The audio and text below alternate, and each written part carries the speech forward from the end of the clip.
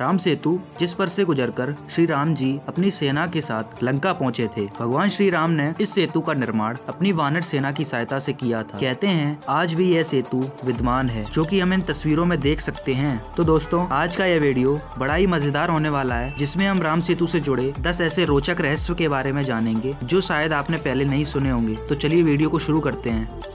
Number one पृथ्वी के उतल पुतल से कालांतर में श्रीलंका और भारत के बीच की दूरी कम होती चली गई और अब इन दोनों में लगभग 100 किलोमीटर की दूरी भी नहीं बची है। हालाँकि दोनों के बीच सेतु के अवशेष आज भी उपस्थित हैं, जिसे हम राम सेतु के नाम से जानते हैं। धर्म ग्रंथों में उल्लेख है कि लंका पहुँचने के लिए श्री राम जी की वानर सेना ने समुद्र पर सौ योजन लंबा तथा दस योजन चौड़ा सेतु बनाया था। सेतु के निर्माण में नल और नील नामक दो वानर वीरों की अहम भूमिका रही थी। नंबर टू समस्त वानर उन्हें पत्थर लाके देते रहे और वे दोनों भाई आगे बढ़ते हुए पत्थर पानी में फेंकते गए और सौ योजन लंबे सेतु निर्माण का काम पाँच दिनों में समाप्त हो गया। इसके बाद सबसे पहले श्री राम तथा उनके प्रमुख गढ़ राम सेतु पर चले थे। नंबर थ्री, विद्वान कहते हैं, अगर सूर्य सिद्धांत के अनुसार एक योजन को आठ मील की दूरी माना जाए तो करीब यह 1200 किलोमीटर हो जाएगा। 1200 किलोमीटर को 400 कोस कहा जाता है। इस प्रकार आज की गणना करें तो राम सेतु की लंबाई लगभग 1000 किलोमीटर से भी ज़्यादा थी।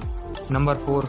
भारत के दक्षिण में धनुष कोड़ी तथा श्रीलंका के उत्तर पश्चिम में पंबन के मध्य समुद्र में 48 किलोमीटर चौड़ी पट्टी के रूप में एक उभरे हुए भूभाग के उपग्रह से खींचे गए चित्रों को जब अमेरिकी स्पेस एजेंसी नासा ने उन्नीस सौ तिरानवे में दुनिया भर में जारी किया तो भारत में इसे लेकर राजनीतिक विवाद विवाद हो गया। राम सेतु का चित्र।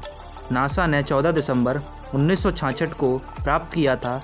इसके 22 साल बाद I S S one A ने तमिलनाडु तट पर स्थित रामेश्वरम और जपना द्वीप के समुद्र के भूभाग के भीतर का पता लगाया और उसका चित्र भी लिया।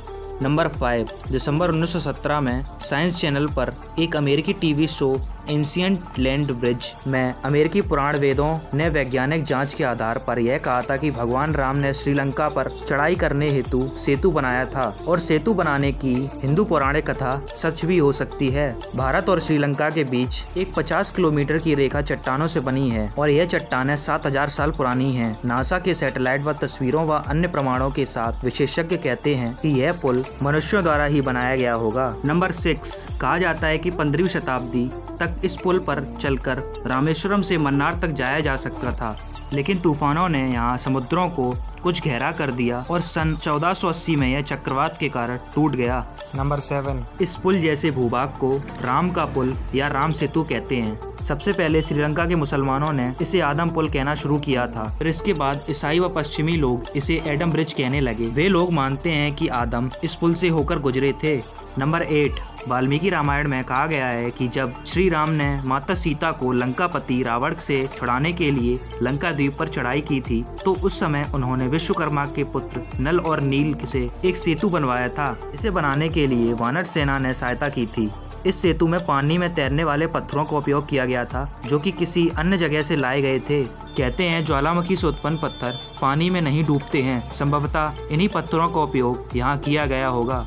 Number nine. भगवान राम ने जिस जगह धनुष मारा था, उस जगह को धनुष कोड़ी कहते हैं। राम ने अपनी सेना के साथ लंका पर चढ़ाई करने के लिए धनुष कोड़ी से समुद्र में एक ब्रिज बनवाया था, जिसका उल्लेख वाल्मीकि रामायण में मिल जाता है।